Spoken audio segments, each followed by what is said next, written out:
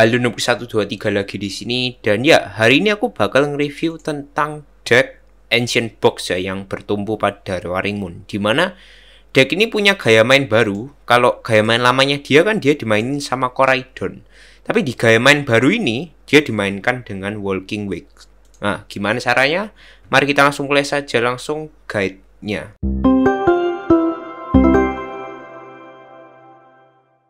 pembahasan pertama gimana budget dan universalan dari deck ini.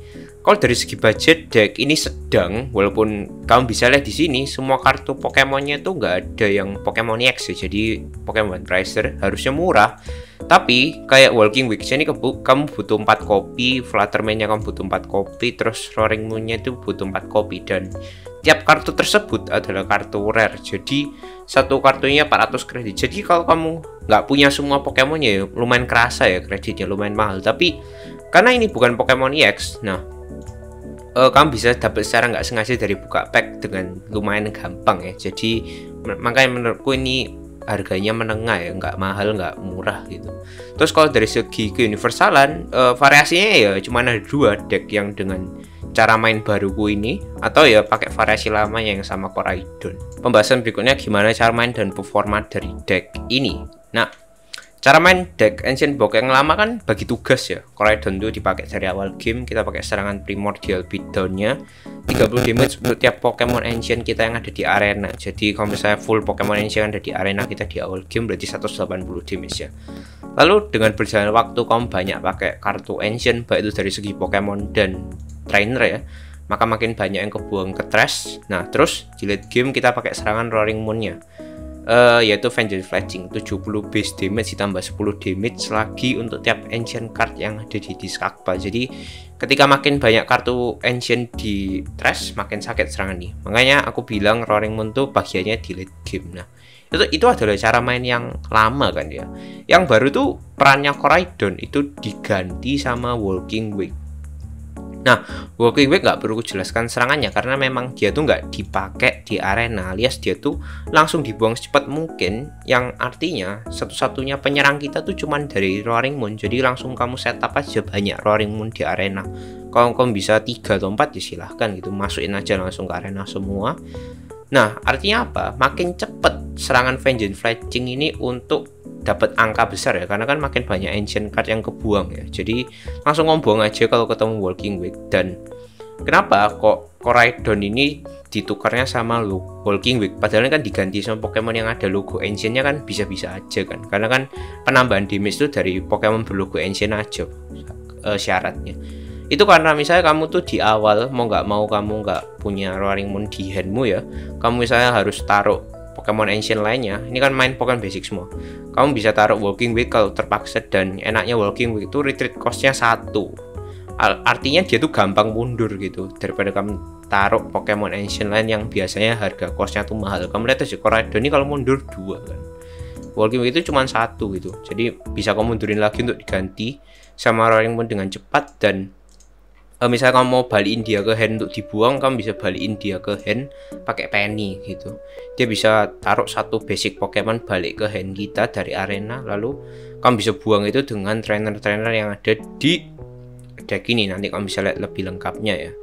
Dan ada juga kita pakai Pokemon Flutterman karena ya dia tuh Pokemon Ancient lagi-lagi untuk nambah serangannya Roaring Moon ya tapi uh, sebenarnya fungsinya tuh ada di ability-nya ya karena misalnya lagi-lagi case-nya sama kamu tuh nggak bisa naruh Running Moon dari awal.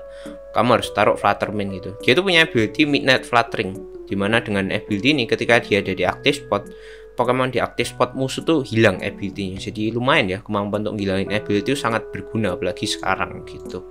Lalu untuk supporternya kita masih bertumpu sama Explorer Guidance yang pertama sama yang kedua Profesor Sada Vitality Profesor Sada untuk nge-boosting energi kamu bisa pilih dua ancient Pokemon lalu masukin ke po tiap Pokemon tersebut satu energi masing-masing satu energi dari diskakpal ya. Masuk satu masuk satu ke dua Pokemon terus kamu dapat bonus nyari tiga kartu dari deck. Jadi makanya kamu harus sering buang energi dari awal. Makanya itu pakai Radiant Green Ninja dari awal.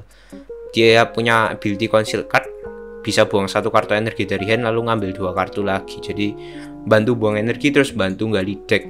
Nah makanya Profesor Sada itu sangat cocok ya sama si Raden Greninja. Lalu ketika kebutuhan energi itu sudah selesai semua dipasangin ke Roaring Moon, gantian kamu pakai Explorer Guidance di mana dia tuh bantu banget untuk buang kartu. Dia buka 6 kartu dari deck, ngambil ambil dua kartu tersebut ke hand, sisanya atau empat kartu sisanya itu dibuang langsung. Jadi itu bantu banget untuk membuang kartu-kartu ancient biar kamu makin bisa cepet gitu menambah damage dari Vengeance Fletching. Lalu yang terakhir uh, kita pakai Aspect Secret Box. Nah, Aspect Secret Box itu biasa aja performanya, tapi kalau di deck ini jadi bagus karena dia itu punya syarat. Kamu untuk pakai kartu ini harus buang tiga kartu dari handmu, jadi makin cepet kan kamu buang kartu-kartu ancient tersebut ke trash. Lalu kamu bisa cari satu Pokemon Tool, satu Supporter card, satu Stadium card, dan uh, satu item card. Jadi misalnya kamu butuh uh, semua itu ya kan bisa cari dengan mudah dengan secret box itu masing-masing satu. Nah, untuk performa dari deck ini bisa bisa banget deck ini untuk dimainin di rank. Masuk di gameplay yang pertama, maju kedua sama deck ini selalu maju kedua. Karena kamu pertama langsung bisa pakai supporter bukan di turn 1 kalau kamu maju kedua. Dan kamu kemungkinan langsung bisa nyerang di turn 1 sementara kalau maju pertama udah nggak bisa. Oke nah ini yang aku bilang.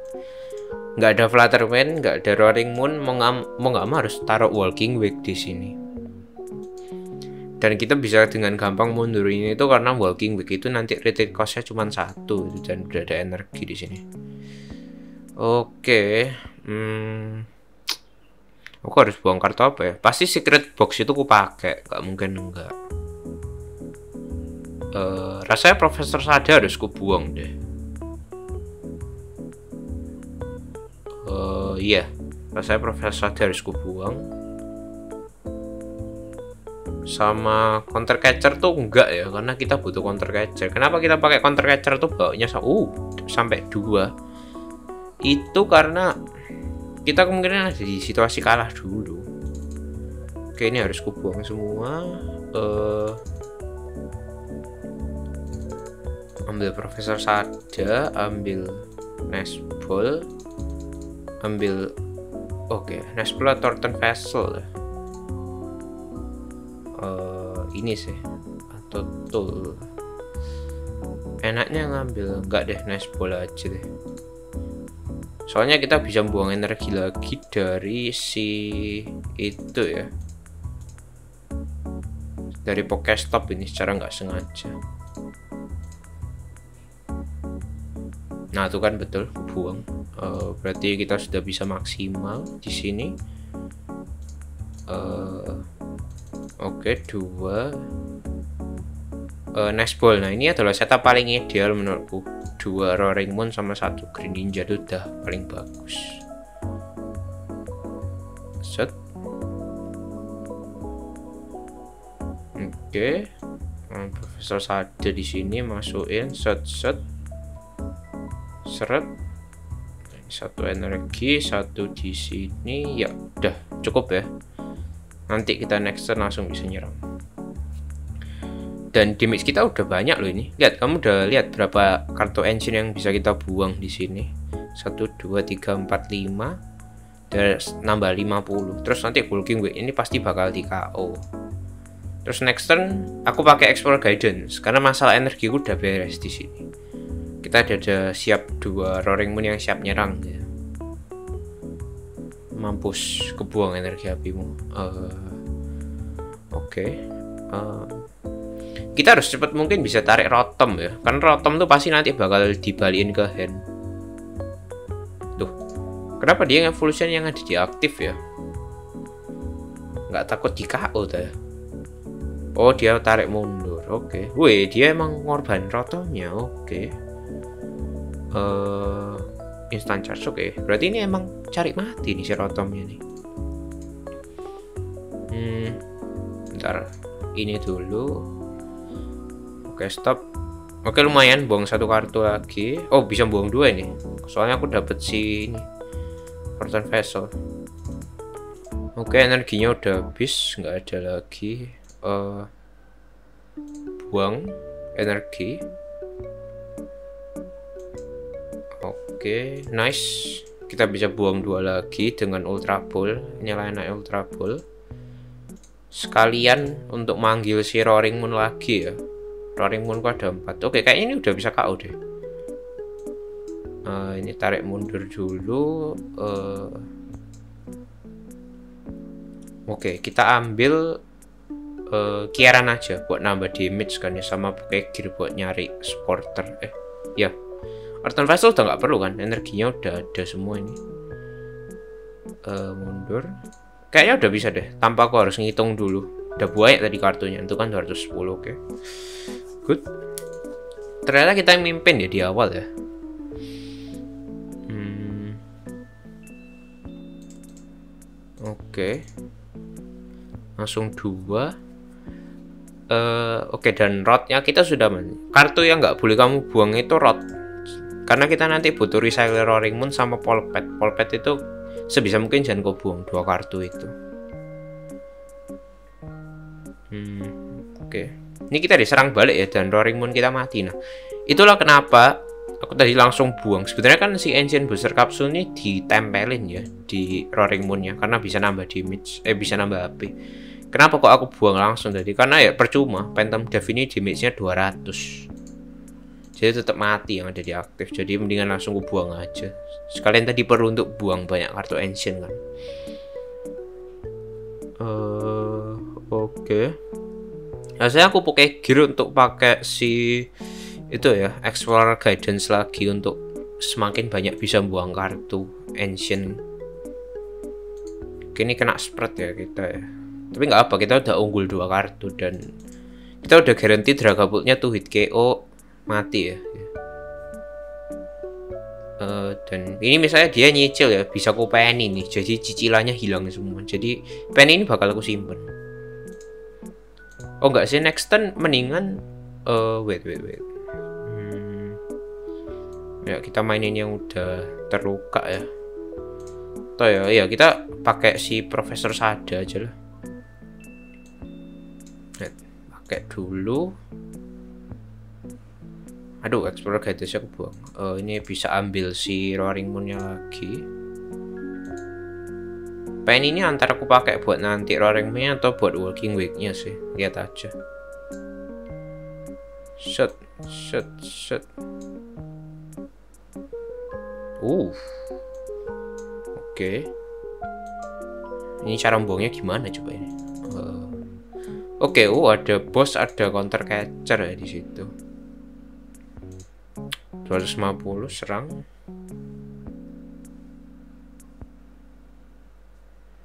Hmm. Ya kayaknya kita butuh Oke next turn kita butuh Se sebentar. Profesor saja gitu tiga. Masih ada satu sih. Ya bisa kita cari sama ya Oh Oke dia nggak mau ngincer itu gue ya berarti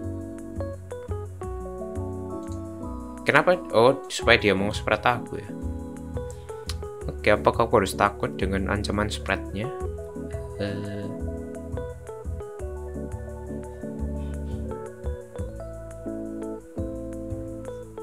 Next turn aku perlu ngambil itu ya, si Roaring Moon-nya lagi. Jadi aku ambil pakai Sprout ini. Hmm. Hmm. Kiara nih aku perlu buat nambah 30 damage ya sih. Makanya masih ku simpen seperti aku butuh. masuk sini uh, oke okay, nice dapat nest ball. Ini ambil sama satu energi ya. Uh, ambil dulu. Ya ada sesuai dugaan gua ada profesor. Inilah gunanya pakai gear memudahkan kamu set. Satu-satu. Uh, ya pakai aja lagi nggak apa-apa. Polpet buat ngambil itu profesornya pasti. Nah ini. Kita butuh boosting energi lagi. Buat nanti. Terus kita serang. Oke. Okay. 200 semoga dapatnya itu ya uh, retrieval ya aduh dapatnya bos ya udahlah kalau retrieval ini aku bisa buang ini si Pokemon-Pokemon ancient ku lagi nih di sini.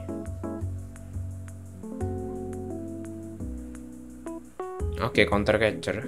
Uh, ini berarti berarti damageku berapa? 270 ya. 270 uh, aku next turn aduh belum bisa hit KO ya udah berarti oke berarti hmm, berarti kita tinggal main pragmatis saja ya. Tinggal ya ini kan Roaring Moonku diaktif mati Roaring Moon di benchku mati otomatis kedudukannya dua sama. Next turn aku serang si uh, Dragapultnya ini emang nggak mati tapi next turnnya kan dia matiin aku otomatis jadi satu dua terus nanti baru di next turn keduanya Dragapultnya aku matiin aku menang dapat dua perasnya duluan. Rasanya taktiknya gitu aja deh.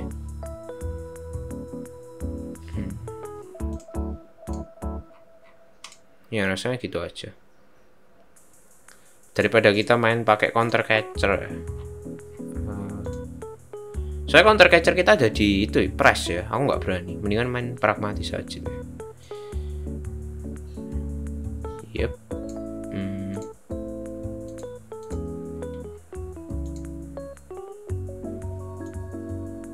profesor saja. Ntar ini aku perlu energi di sini. Balikin dulu semua energinya ya. Tiga.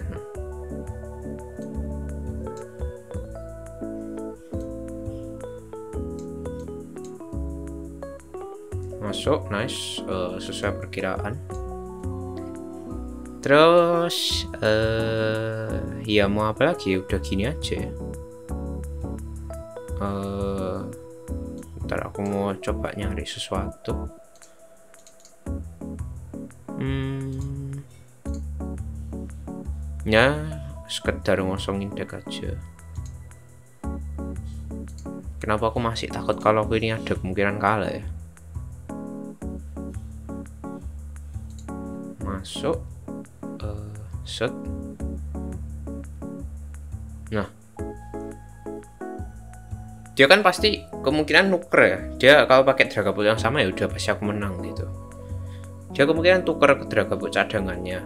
Aku udah ada bos di hand jadi harusnya aku yang menang ini. Dan kalaupun dia ngkau aku aku berarti kan kedudukannya jadi satu dua otomatis aku bisa pakai counter catcher buat narik lagi dragabut lamanya nih ah tuh kan dia tarik mundur si dragabutnya yang terluka ini. Aduh dia no hmm. oke. Waduh, dapatnya ginian lagi. Oke, tapi nggak apa. Kita bisa pakai stop sama ini ya Raden Green Ninja. Uh, berarti kita bisa nyari 5 kartu dari 14 kartu. 13 sorry, karena kan dapat satu. Berarti udah hampir setengah. Berarti paling nggak dapat lah ya counter catcher. Apalagi kalau kita bisa dapat adventurer discovery itu semakin terbuka lebar kita menuju kemenangan.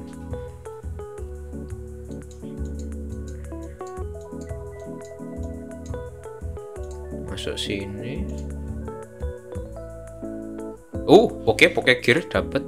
Uh, berarti pakai dulu ya. Enggak deh, ini dulu aja. Berarti Raden Greninja dulu. Siapa tahu aku bisa ngurangin kartunya, oke. Okay. Uh, Poké Gear. Aduh, nggak dapat lagi. Uh, ini aja kalau gitu kiaran damageku berapa? Aduh 300 uh, eh, berarti Pokestop berarti harapan kita satu-satunya cuman ada dari counter catcher. Oke 300 oh enggak. Aku berhasil membuang dua kartu. Oke berarti kiarannya save the game ya. Kan ini 300 kita pakai aja si kiaran mati kamu dalam sekali pukul Nah itulah gunanya Keran, dia tetap mati. Uh, di luar perkiraanku aku malah pakai Keran untuk menangin game. Ya berarti kita lanjut ke match berikutnya. Masuk langsung di gameplaynya. Nah ini aku harus taruh uh, Fluttermane dulu langsung diaktif karena kita nggak dapat Roaring Moon. Oke, wah musuhnya main tebel ini pakai Heroes Heroes. Kira-kira orang deck apa ya kita? Uh, apa? Blissey kah? Biasanya main Heroescape berarti pasti Pokemon tebel ya? Nggak mungkin lain ya? What?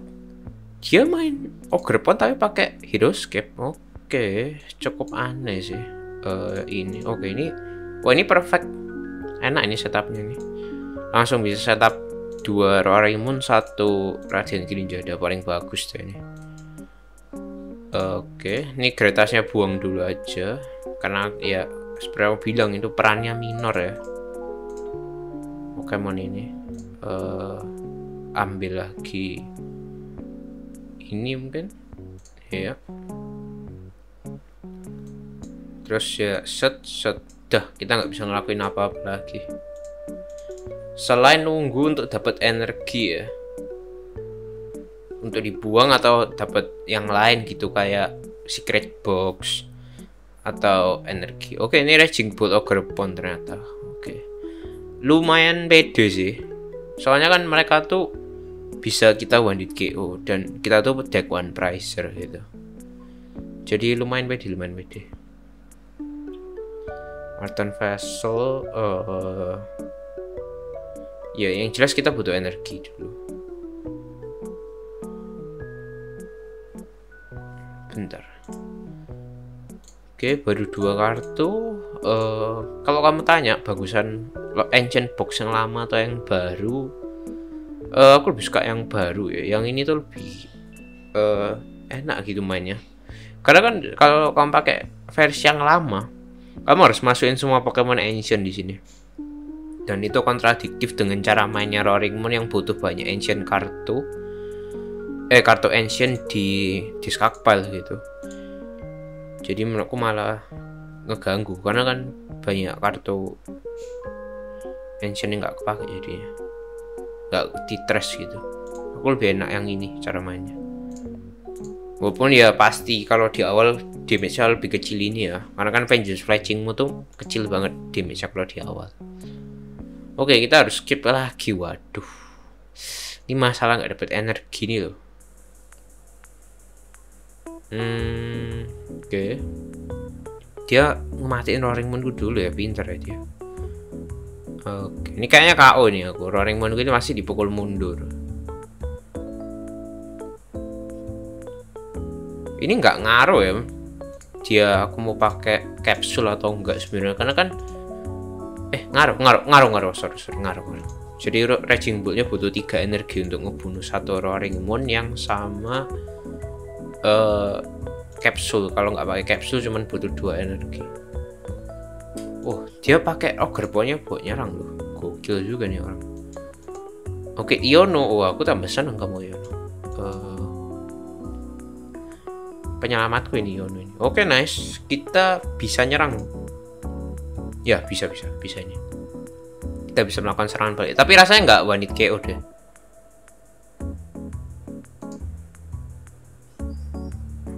Okay.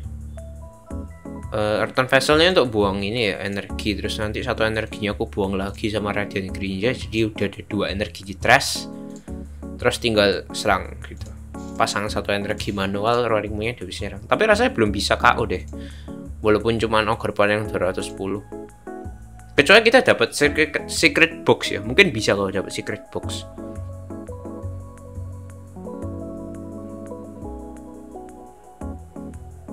Soalnya kan misalnya di sini loh, baru dua. Damage baru 90. Kemungkinan paling kita cuma bisa buang 5 kartu. Nanti 5 kartu ancient paling banyak di next turn kita. Tapi nggak apa, seperti yang aku bilang, deck ini memang deck one pricer semua deck one pricer tuh kebanyakan main kalah dulu ya. Waduh, pakai gituan dia. Uh, Oke. Okay.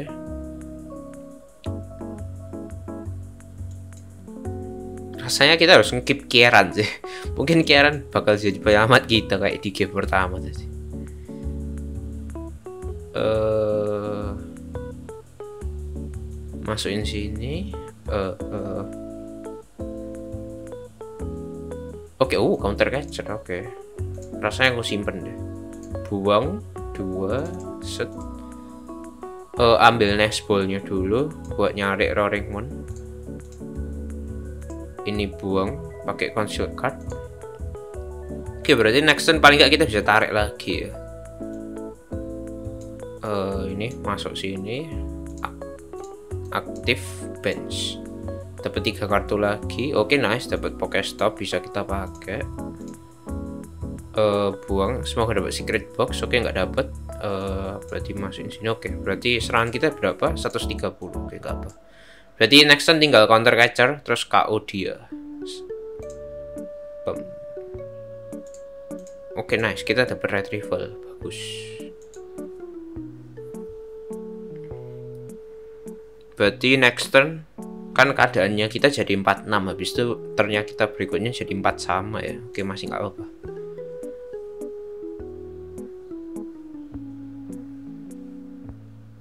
karena itu aku bawa counter catcher tuh sampai dua. Karena emang deck ini main kalah dulu. Dan kita masih bisa tenang masih ada Profesor Sada kita garanti bisa nyerang ya. Oke kita harus segera cari polpet karena Profesor Sada kita udah kebuang dua. Kepake satu sama harus kubuang kan tadi di awal game. Hmm. oke Profesor Sada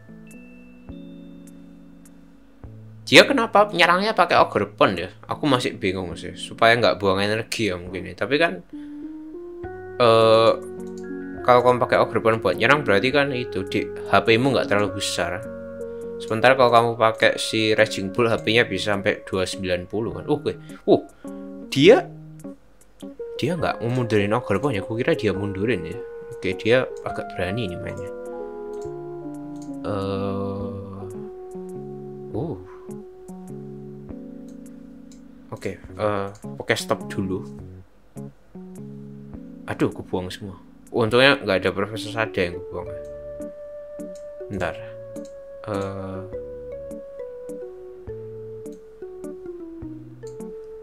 ya yeah. aku perlu rod sini rod please oh nice dapat rod let's go karena aku ada nice ball jadi aman aman uh, ya buang lagi karena ada Arten Vessel oke aduh ini aku tinggal nunggu dapat secret box enak ini udah. Ada nggak sih secret box ya ada kan lu? Udah kucak tadi. Buang walking week ya. Yep uh, oke. Okay. oke okay, nice dapat ada profesor ada lagi ya. Ini kita biar seimbang aja satu-satu 180 oke. okay. 180 ya udah makin besar ya. Kita semakin dekat untuk bisa win KO oke okay, return vessel good. Kita bisa buang kartu ancient lagi. Oke. Okay.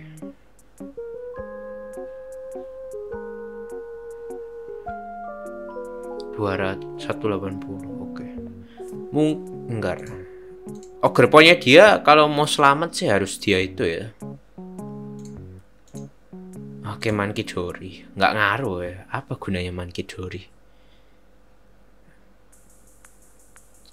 Oke gear Oke gear itu bakal aku simpen karena aku butuh bos atau kieran. Pasti lah aku simpen. Kecuali aku butuh supporter gitu. Next turn tuh pasti poke stop lagi terus aku bakal pakai profesor saja lagi buat ngisi si roaring moon lagi nih. Hmm. kalau misalnya bisa di KO ya udah aku all in. Ini flutter ini aku buang pakai retrieval ya. Ini kan si Raringmon kita mati otomatis kita buang dua kartu ancient. Rasanya bisa deh one KO apalagi kalau dia nggak pakai itu uh, si tool toolnya tuh aduh dia pakai lagi oke berarti rasanya kita pakai counter catcher deh buat ngincer langsung si ogre ponnya nih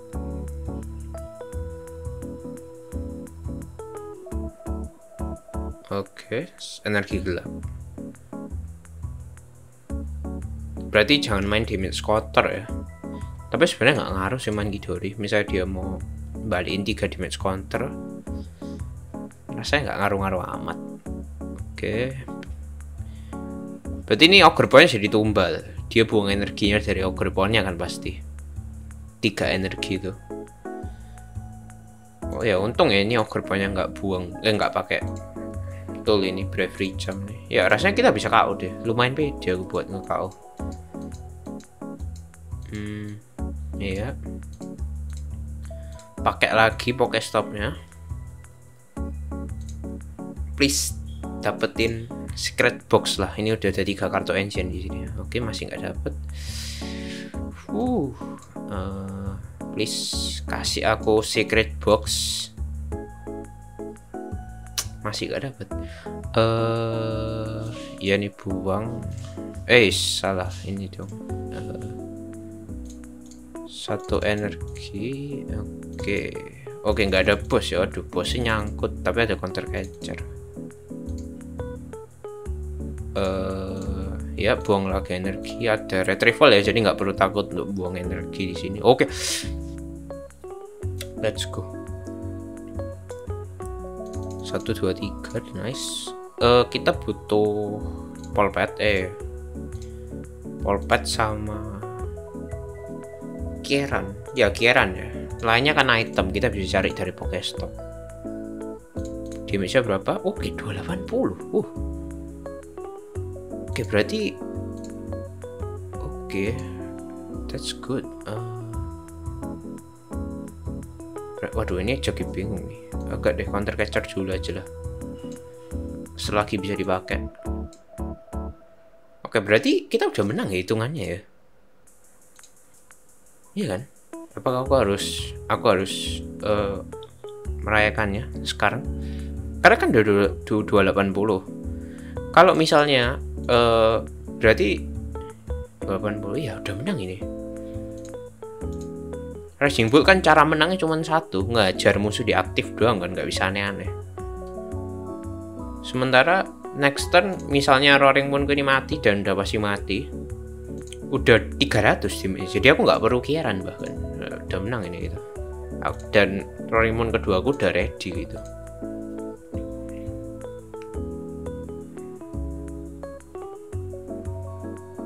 ya misal dia mau pun mau Iono pun nggak masalah gitu.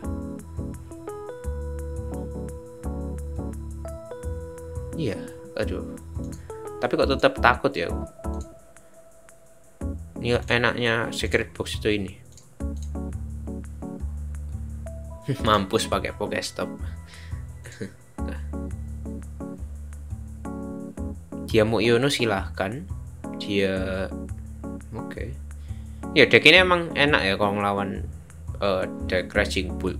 Di kebanyakan game aku menang waktu latihan lawan Raging Bull. Karena ya kita main deck One Pricer gitu. Uh, lawan deck oke okay, Diono pun nggak masalah kan nah ini. Oke okay, nah oke okay, nice. Red rival kalau lawan Lugia pun oke okay, itu deck ini lemahnya tuh lawan apa ya? Aku bilang lemahnya lawan deck yang sama-sama one pricernya dan lebih bagus gitu. Kayak contohnya apa? Festivalit kamu lawan deck festival itu lawan pakai deck engine box yang menang festival itu kalah. Soalnya lebih gampang setupnya festival dan dia kan bisa nyerang dua kali gitu. Jadi kalau misalnya between turnmu si Roaring menu KO dia serangan berikutnya bisa KO Pokemon berikutnya gitu sama nggak tahu uh, deck one presentnya apa kalau sama si deck United Wings saya masih menang ini deh Oke, udah menang kita 300 nih, ya kan? 300. Nah, oke. Okay. Uh, eh, terima kasih karena sudah menonton. Semoga kalian mengerti cara bermain dari deck Ancient Box yang pakai cara baru ini dan kalau misalnya ada yang masih bingung uh, tinggalkan saja komentar di kolom komentar. Terima kasih karena sudah menonton.